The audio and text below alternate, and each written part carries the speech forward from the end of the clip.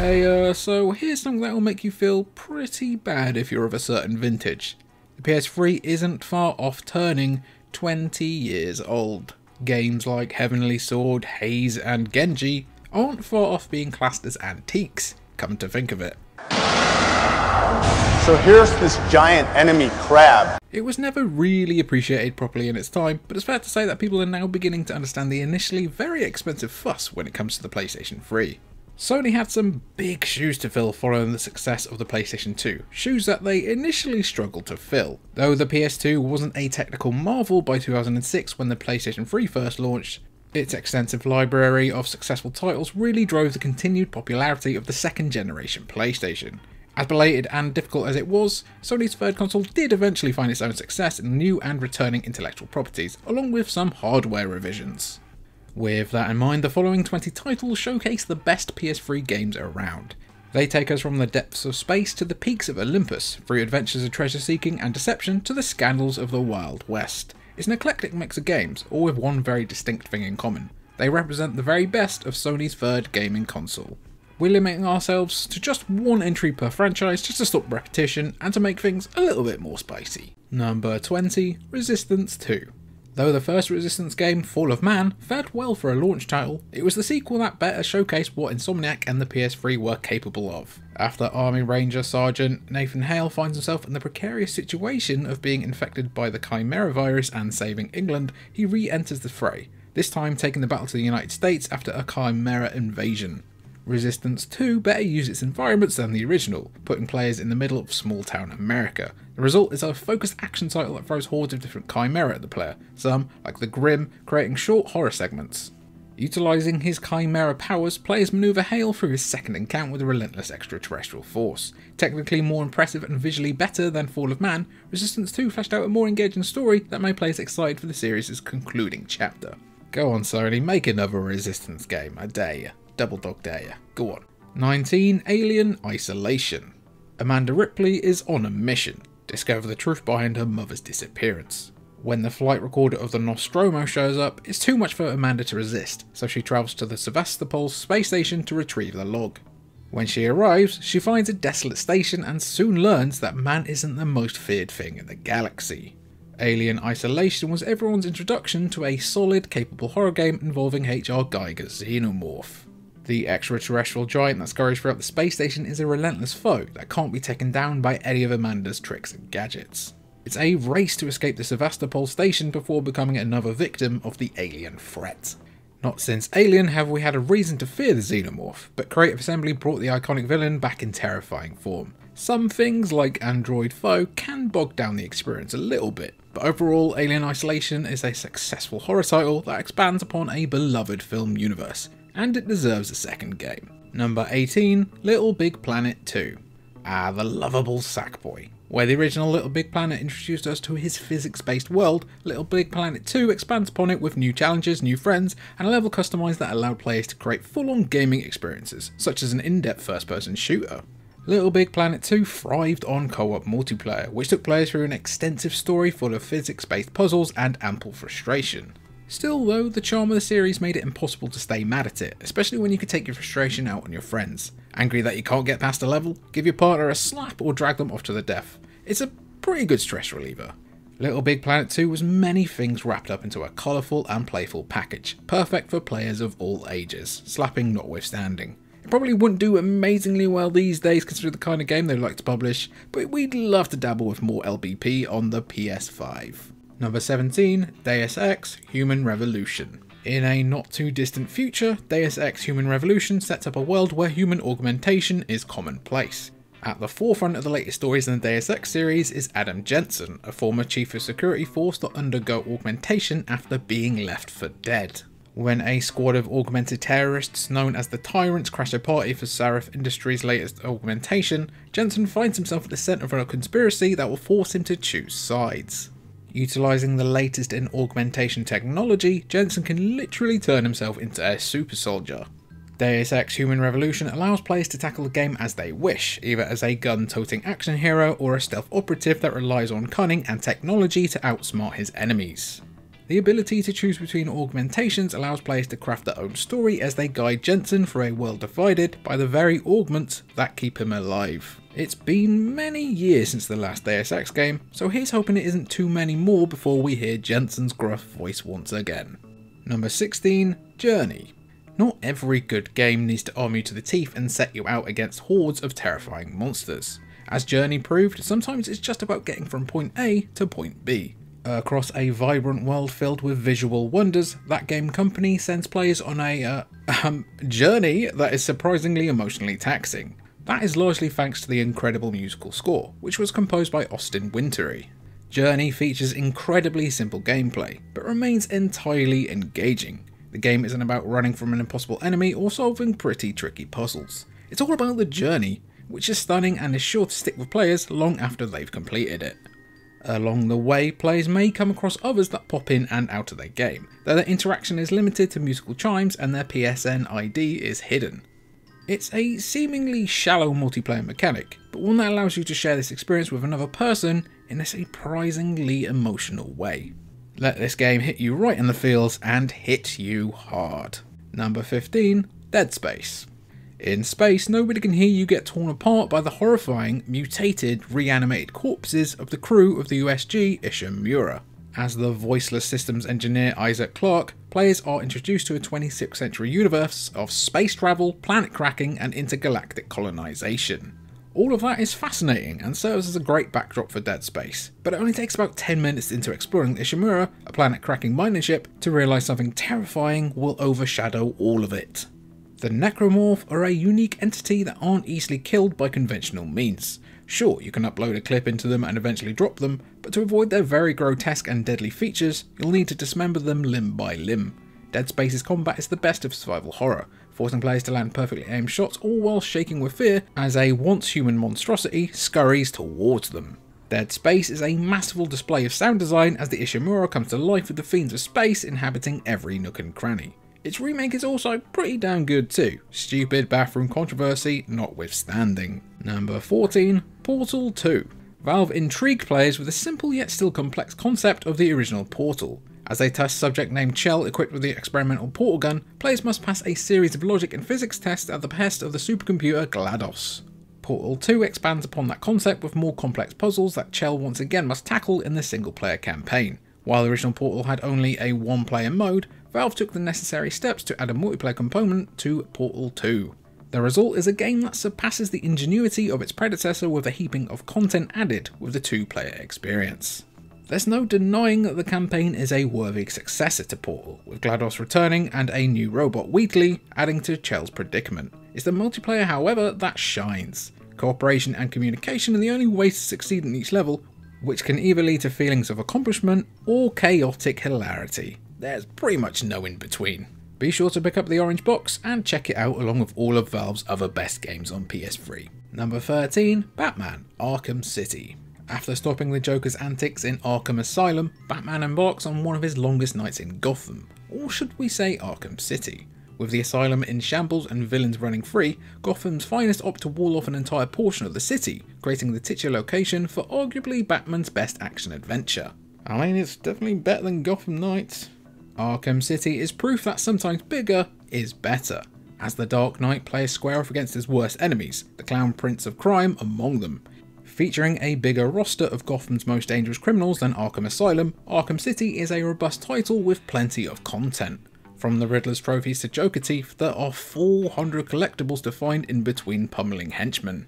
Despite the more open environment of Arkham City, Batman is still a master of stealth and keeper of some of the coolest gadgets. Sonic batarangs, electrical charges, smoke pellets, explosive gels, and claws are just a few of the tools the Cape Crusader has at his disposal, each one serving a unique purpose in his quest to do what he does best beat up bad guys and save the people of Gotham. Number 12, Metal Gear Solid 4 Guns of the Patriots. After Snake Eater amazed Metal Gear Solid fans, Guns of the Patriots was left with some pretty big shoes to fill. Much like with Snake Eater, early previews of the fourth numbered Metal Gear Solid confused fans. Who was the Burt Reynolds looking character being introduced and how did he fit into the narrative? Were we continuing the saga of Big Boss or was it time for Solid Snake to return to the spotlight? The answer we got was a depressing one, and continued to show fans that there was no happy go lucky ending in store for Kojima's beloved series. Old Snake was designed with many of the tropes we expected from aging battle hardened warriors. Except, unlike the Expendables where it's worked in for laughs, it's incredibly tragic and saddening. Watching Snake become a decrepit, broken old man is like watching a legend wither away into nothing. Guns of the Patriots was pretty bonkers though, even compared to Snake Eater, and really had far too much story to explain with too little gameplay to properly balance out, but it was a very solid Metal Gear Solid game nonetheless. The plot takes some twists and turns that fit right into Kojima's zany storytelling, but it's a fitting conclusion to Solid Snake's Metal Gear Solid saga with some of the most memorable moments this series has ever seen. As a wise man once said, this is good, innit? Number 11, Assassin's Creed 2. There are, what, 400 Assassin's Creed games out there by now? And yet, somehow, the second game in the series, which released in 2009 and fixed many of the issues of its predecessor, remains not only the best in the series, but one of the best games on the PS3.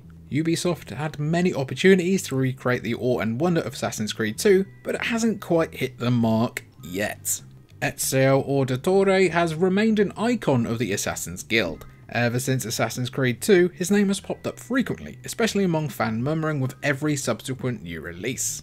The stars aligned for Assassin's Creed 2, which was the perfect mix of action, parkour, exploration, and story.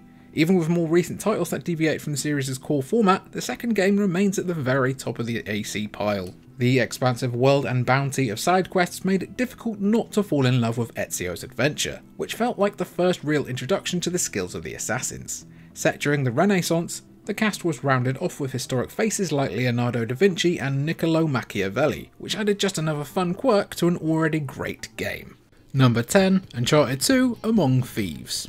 With each new adventure, Nathan Drake faces worse odds and bigger set pieces. While Uncharted 3 and the final game in the Nathan Drake saga, A Thief's End, did well to stay true to this model, Among Thieves remains Drake's most unforgettable and best adventure yet. Uncharted 2 returns Nathan Drake to his life of adventuring, joined by father figure Victor, Sully Sullivan, and a cast of colourful characters. He's since moved on from the fortune of Sir Francis Drake and the lost city of El Dorado, and is instead seeking the fabled Cintamani Stone. It wouldn't be a Nathan Drake adventure, however, if he didn't run into some trouble. A whole mess of trouble. While Among Thieves is far from the most technically impressive of the series, especially now two generations on, there are so many incredible moments that it's arguably the most memorable entry in the whole series. Naughty Dog did of course try, but it never could match the thrill of the train segment, though it did come pretty close with the sinking ship in Uncharted 3. Uncharted 2 was the perfect mix of action, drama and adventure, earning it a spot as one of the PS3's best ever games. Is it the best Uncharted game ever? We still think so. Number 9, Persona 5.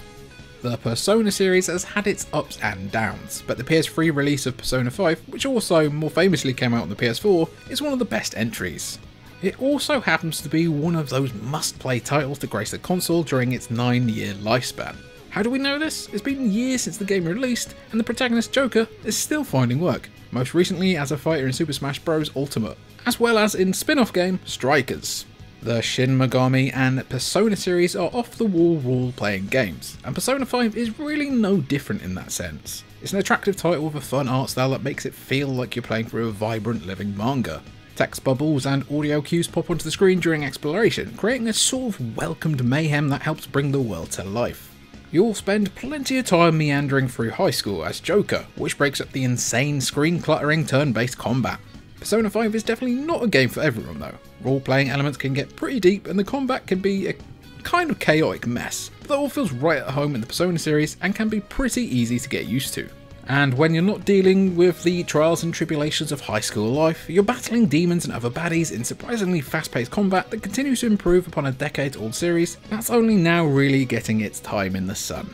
Number 8 Dark Souls pegged as one of the most difficult video game series ever to be developed, so many people will not get to experience the underlying fun of Dark Souls before being scared away by it. Sure, it's a challenging series that requires plenty of patience and timing, but that level of meticulous gameplay adds to the overall entertainment.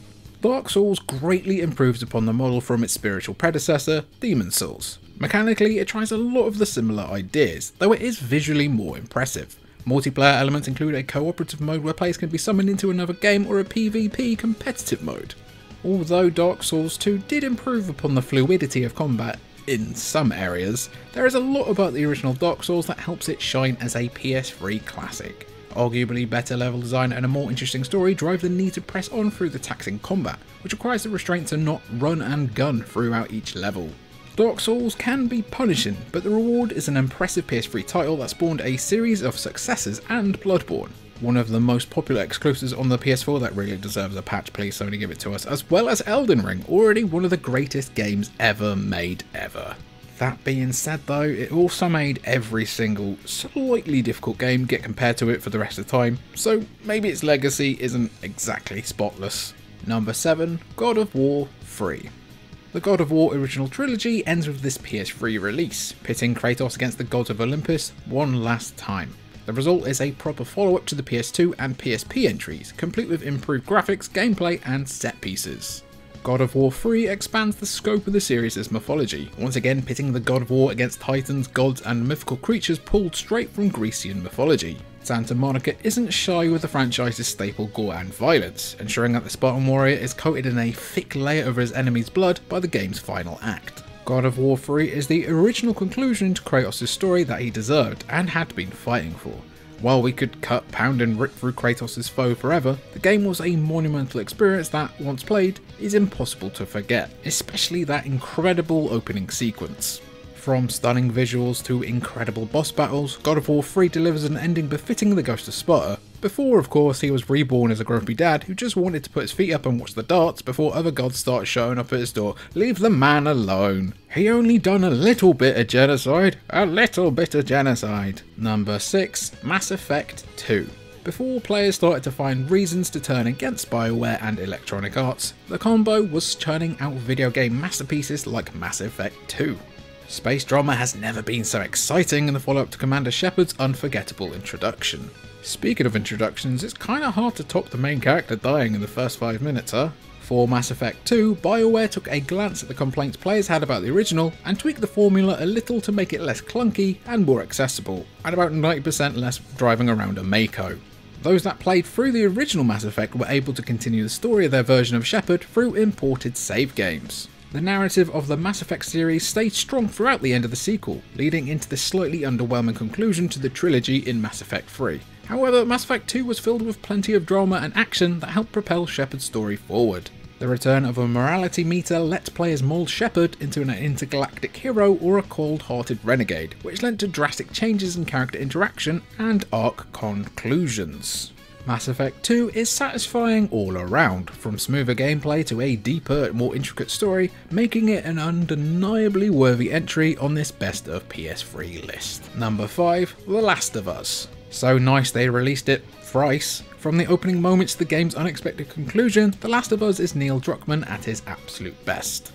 There are admittedly some viable critiques about the gameplay, such as Crouch walking around and picking everything up from 10 minutes at a time, but The Last of Us is narrative perfection, headlined by two very different characters voiced by two very talented artists. When Joel begrudgingly takes on the task of ferrying Ellie, a young girl found to be immune to the mutated cordyceps strain, to a rebel militia in search of a cure, it opens the door for a survival horror game that's driven by drama and not scares. Their path blocked by a horde of infected and merciless bandits, the duo face impossible odds that help bring them closer together. The Last of Us frequently switches pace from slow-paced horror to action-packed shootouts, creating a blend of the two genres that helps portray the horrors of the post-apocalyptic world. There are so many unforgettable moments in this incredible PS3 game, but there's no forgetting that heartbreaking opening segment. And the world's least necessary remake ever didn't take away any of the original's power either. Well, maybe it did a little bit if you were playing on PC at launch, mind you. Number 4 Bioshock. In the depths of the ocean sits a city intended to break free from the chains of the surface world. First constructed in the 1940s, the underwater city of Rapture was to be a utopia where people could live without the lingering oppressive rule of government. By the time the protagonist of Bioshock finds his way down to the since decimated city, the vision of creator Andrew Ryan has deteriorated into a horrifying version of itself. When scientists came across Adam, a DNA altering genetic material, it doomed Rapture and Ryan's utopia was lost. From the proverbial ashes of Rapture's downfall rises your ability to play through a game as masterful as Bioshock. We could go on and on and on and on and on about how impressive the water physics were when it first released, but let's just say that they set the standard for many games today. Instead, we should really be focusing on the gameplay and the unforgettable story, which deliver a satisfying experience no matter how many years later you're playing it. Deep breath here, Bioshock is a survival horror role-playing FPS action-adventure sandbox hybrid that sprinkles in some science fiction and human drama for an incredible experience. From your descent to the dystopian city to the narrative's big twist, Bioshock and even the rest of the series is the epitome of the near perfect video game, even as time goes on. Number 3, The Elder Scrolls V Skyrim.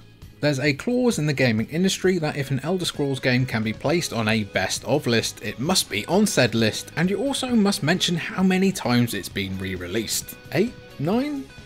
25? One of them's right. Joking aside, Skyrim earns its place, much like how Oblivion would have had Skyrim not existed. The expansive world of Skyrim, filled with dragons and all sorts of monstrosities and bandits, is one that people don't get tired of exploring. We know this for certain because, as of the writing of this list, there have been free DLC add-ons and many different versions of the game released, including a VR adaptation that came out 6 years after the game's original release.